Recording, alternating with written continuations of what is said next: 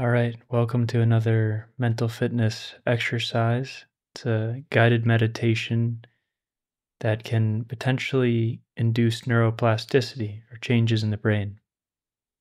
All meditation is changing your brain as you practice, but this one is very powerful because we're essentially recoding or reconsolidating old memories. It's a technique that is similar to one called Remembrance in the Witoto tribe, indigenous people in South America and both Colombia and Peru. And there's some interesting research on this type of memory reconsolidation, which potentially involves new neural connections as the brain rewrites its code involving or linking certain memories to a threatening response. For example, it was shown in four experiments that a positive reinterpretation of an old negative memory actually changed the memory and it, it changed the brain activity associated with that memory. So that's basically what we're doing here. Without further introduction, you can go ahead and make yourself comfortable And begin the meditation just by relaxing from the top of your head, scanning down your body, and releasing any obvious tension, intending to soften any places where you're holding, like your neck and shoulders, your arms,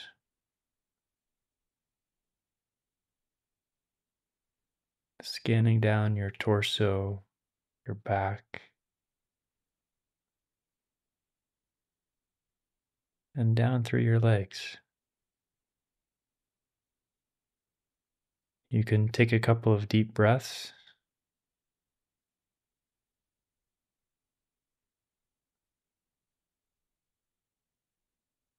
And this will also help relax your body, especially if you Make your exhale longer than the inhale,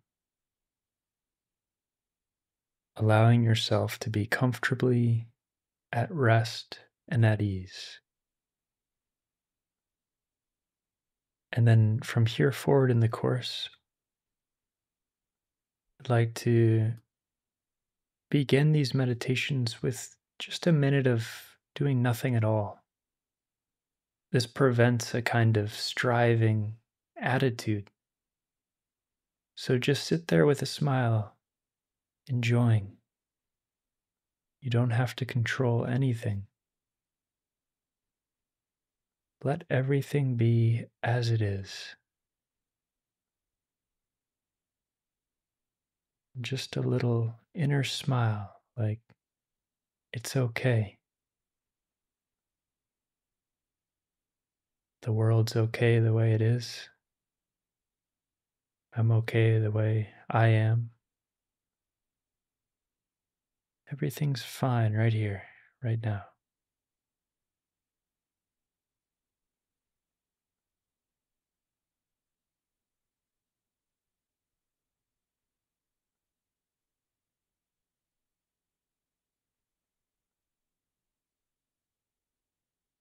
We'll begin the method by bringing up a positive emotion.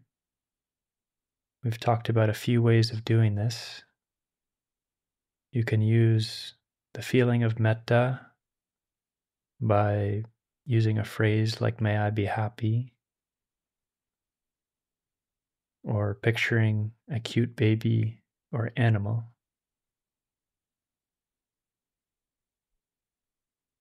Or a close friend, whichever of those most easily generates this warm feeling, this positive emotion. So choose just one of those three and then sink into that feeling, intending it for yourself. May you be happy. May you feel this way.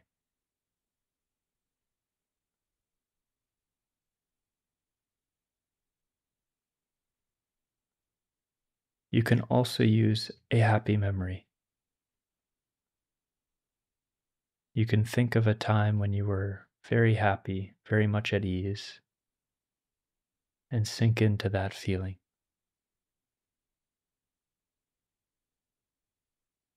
What matters here is the feeling, which is a sign that you've activated a positive emotion. The feeling might be subtle at first, it might be very slight tingling or vibration, like a warmth in the chest. But that's your object of meditation now. That's the sign that your mind is in this positive state and then you can stay with that feeling and let go of the image or memory once you have it there, once you have the feeling.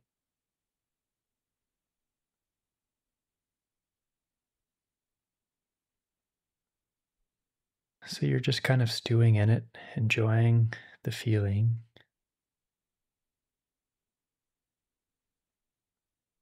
And there might be other thoughts, other things coming into your mind. And that's okay. You just stay with the feeling.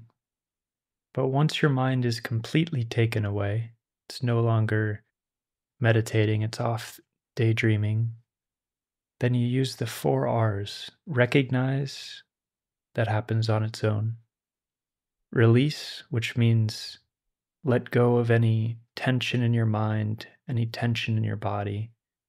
The release step is like opening a tight fist. You allow your mind to expand back out. Then you relish, you come back to the positive feeling. And you may need to bring back up the positive feeling. And then you remain with that as long as you can.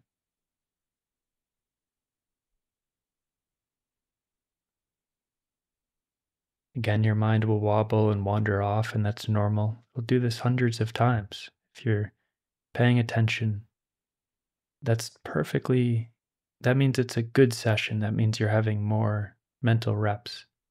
That's your opportunity to recognize, release, let go of tension in your mind and body, relish, and remain.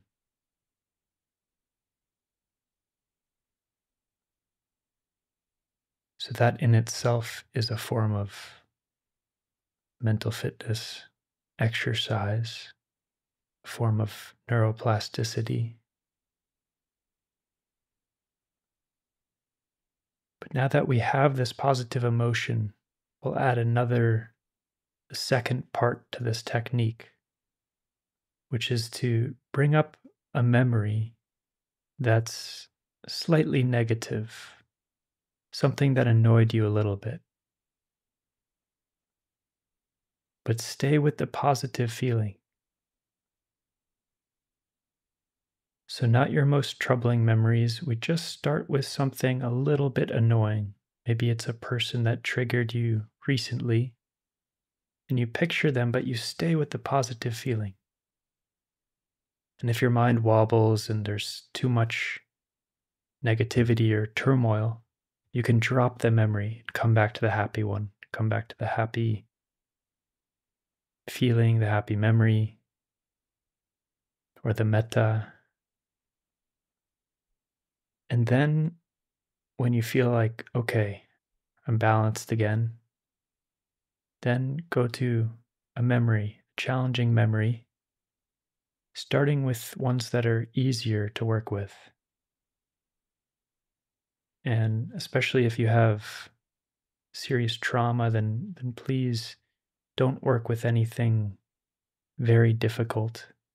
You can consult your mental health professional. Right now, we're just working with annoying memories, little things.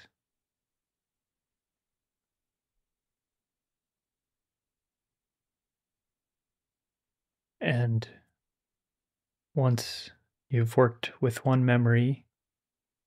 Your mind might tell you it's time to move on to another one. And you just tell your mind to bring up something that annoyed you a little bit.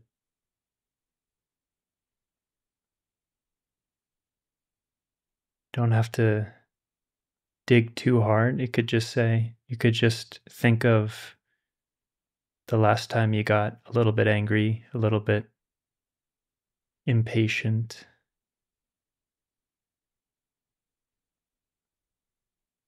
And the sign that the memory has really been recoded is that when you think of it, there's no more negative emotional charge there. So that can take a long time with some memories, but other ones might flip quicker. And it's like, oh yeah, now when I think of that, it's okay, no big deal. I can let it go. This is the perfection of metta, the perfection of unconditional love. It has the potential to radically transform our lives because everything the mind is held on to, everything preventing it from being joyfully in the present moment, can be released bit by bit as we write over our negative emotions that are stored up, our negative memories. And we do this by starting with ones that are very easy, ones that aren't so challenging, like, oh, yeah, that's silly. Why did I hang on to that. I can look at that with a smile. And bit by bit, we work with things that happened longer ago and things that left a little more of a scar. So feel free to keep meditating. And otherwise, I encourage you to come back to this method. Again, if you have serious past trauma, then you might first consult a mental health professional before going too deep with this.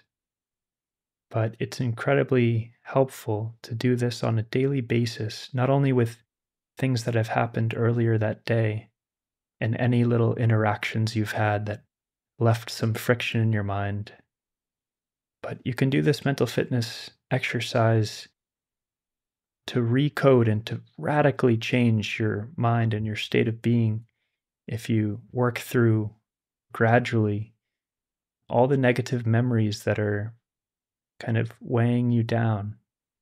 And yeah, thanks for taking the time to train your mind. I'll see you over in the lesson on living light, on how to be happy with what you have.